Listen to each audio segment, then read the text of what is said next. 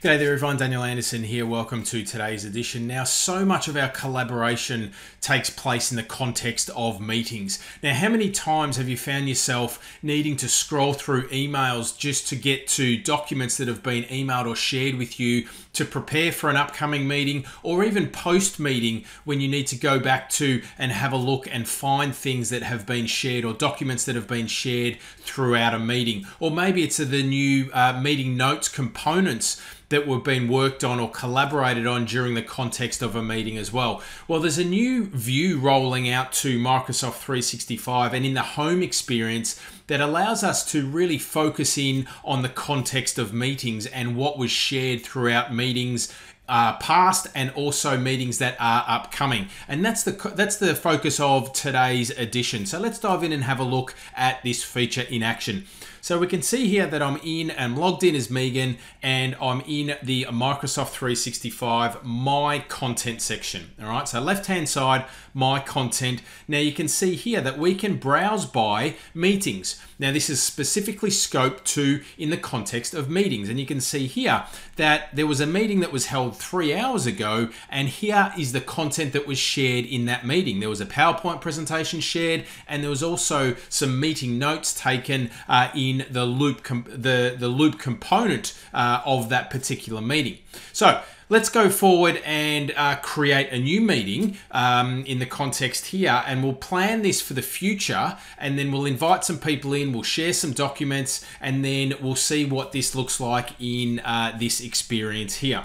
So we'll jump into the calendar of meeting. Uh, we'll start a new meeting for let's say for later in this week. So we'll pop in um, a particular day. Let's go for um, Microsoft Loop Planning. All right, so we'll do this and then we'll invite Alex. All right, so we'll just invite one person.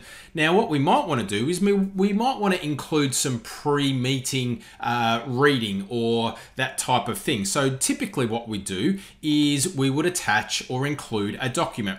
So, let's find a document that we need to review prior to the meeting. So, let's go for this document here. We'll share this document, we'll insert it into the body or the description of this meeting. That's going to set all the permissions automatically. So, Alex, if you didn't have access, will automatically have access now and we'll send that across all right? So that's sending an invite to Alex. Let's bring Alex's um, email across here and we'll wait for that meeting invite to come in. You can see here we've got this Microsoft Loop planning just come in, we've got the document here, and let's accept that invite. Now, that's well and good, but let's say Alex puts off the preparation for this meeting for another time. So rather than having to scroll through calendars and emails to find that document that was shared in that meeting invite again, what he can now do is go into the Microsoft 365 homepage, go to uh, My Content, and then there's this section here called Meetings, all right? So let me just refresh this uh, view here. You can see that he's already got a couple of meetings in there that, uh, that have been scheduled. Here's the meeting that was just scheduled around the Microsoft Loop planning from Megan. And you can see that we've got access to that document that was included in the body of the email. Now you can also see up here that we can filter by keyword. So as we uh, obviously uh, attend more and more meetings, more and more things are shared, then that means this is going to become quite busy. So we could then filter by keyword as well. All right, so we could say see here um, that I've just typed in the keyword of loop and it brings back all of the meetings or the content with that particular keyword in it as well. Now, what about during a meeting? What happens when we're, we've got a chat during a meeting and then people are sharing documents throughout the course of a meeting? Let's have a look at what that experience is like as well. All right, so now we're in a meeting. Megan and Alex are um, join the meeting here, and let's go to our chat.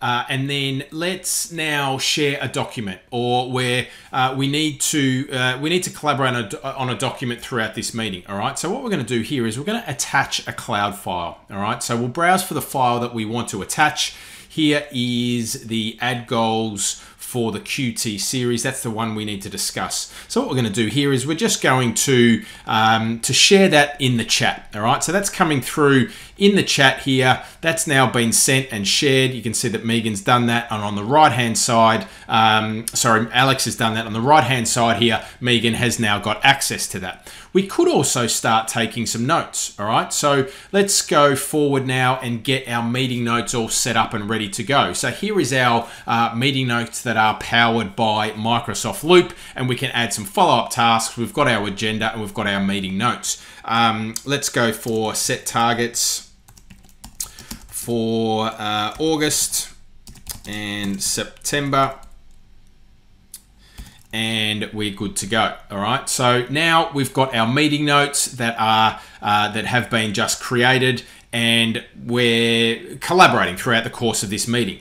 Now this meeting now ends all right? So i'm going to end this meeting right now all right? So let's now end this meeting. We'll just close this off and we'll end the meeting all right? So let's end that now, what happens? We need to still access all of that content. So maybe in a week's time, there we need to come back to uh, and look for documents that were, um, you know, that were shared throughout that meeting. So with this new view, it means that we don't have to scroll back and try and find that meeting through our calendar or that email or things like that. We can just jump into the Microsoft 365 homepage, click on My Content, click on Browse by Meetings, and there what we'll see is the content, and I'll just give this a refresh. Um, we'll see the content that was shared throughout the course of that meeting. So the pre, um, anything that was was shared pre-meeting in the description, plus also anything that was shared throughout the meeting, you will find uh, here in this new view.